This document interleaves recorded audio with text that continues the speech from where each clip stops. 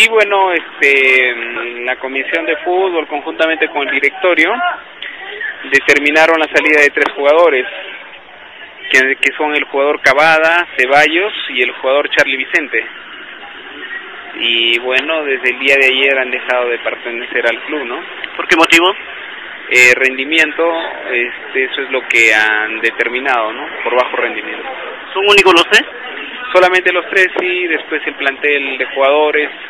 Teníamos 27 jugadores también, ahora tenemos 24 jugadores. Hay que tener en cuenta que para la Copa Perú se inscriben 25.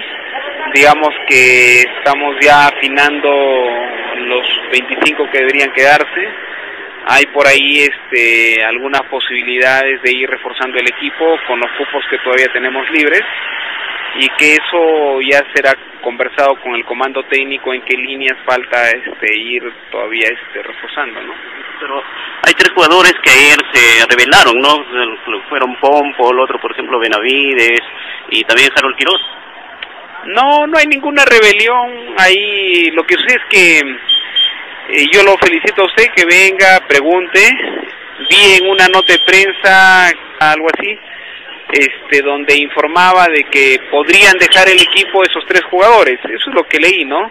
Lo cual me sorprendió, inclusive por las redes sociales yo inmediatamente desmentí que en primer lugar este ni nosotros los hemos sacado esos tres jugadores ni tampoco nosotros hemos recibido ninguna renuncia de ellos, ¿no? Pero ayer no trabajaron. Este, no, ayer sí se ha trabajado en horas de la tarde. No, ayer sí se ha trabajado en horas de la tarde. Hubo un replanteamiento del plan de trabajo por parte del comando técnico, teniendo en cuenta de que se está reestructurando algunos partidos que tenemos. Se había previsto un partido para el jueves, después se comunicó ayer que ya no iba ese partido para el jueves, sino que a la próxima semana jugamos en, en Sechura el 24 y en base a eso hicieron un replanteamiento con de acuerdo a los microciclos que ellos manejan. Eso fue todo, ha coincidido seguramente con la salida de los tres jugadores. Por ahí algunos este eh, asimilaron otras noticias, sacaron noticias sensacionalistas, especulando, pero yo lo que les puedo decir es que las cosas andan tranquilas, nosotros tenemos un objetivo claro, que llegar al fútbol profesional, el equipo, como usted verá, ahora está entrenando en el campo de juego, este, este, en todo equipo siempre puede existir algunos problemas, pero son problemas pequeños, superables y donde la institución creo que es el UTC prima por encima de todo y nuestro objetivo claro llegar al fútbol profesional también. En cuanto a la salida de los jugadores, ¿habrán eh, jugadores que van a contratar en su reemplazo? Lo que sucede es que esas posiciones están cubiertas ya por otros jugadores que se tiene ahí, nuestra plantilla así bien larga y ya el comando técnico evaluará si hay que reforzar esas líneas u otras líneas y ya nos indicará este y que y en coordinación con la comisión de fútbol del equipo pues determinarán qué jugadores deberíamos contratar si es necesario o no, ¿no? Carol Quiroz, eh, Benavides y Cordero fueron vistos ayer en una cantina, eh, lo cual hay testigos.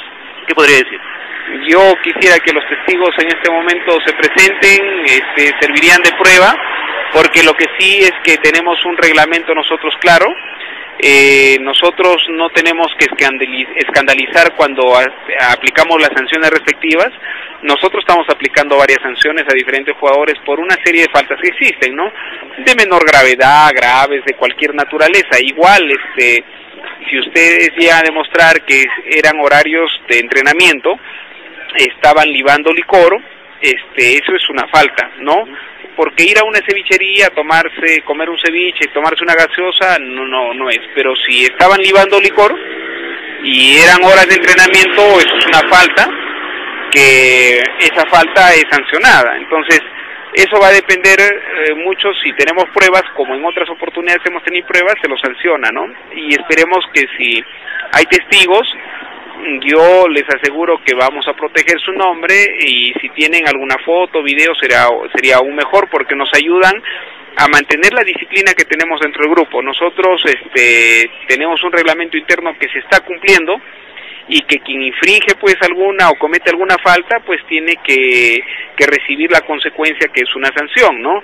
Eso le guste o no le guste a quien sea, pero sí el grupo está unido y lo que queremos es sí mantener el grupo unido con una disciplina que ellos mismos saben que debe primar en un equipo como el UTC, eh, que tiene un nivel, si bien cierto estamos en fútbol amateur, pero por la calidad de jugadores, pues todos han jugado en el fútbol profesional, saben cómo manejarse un equipo profesional. ¿no? ¿Qué decirle a la hinchada?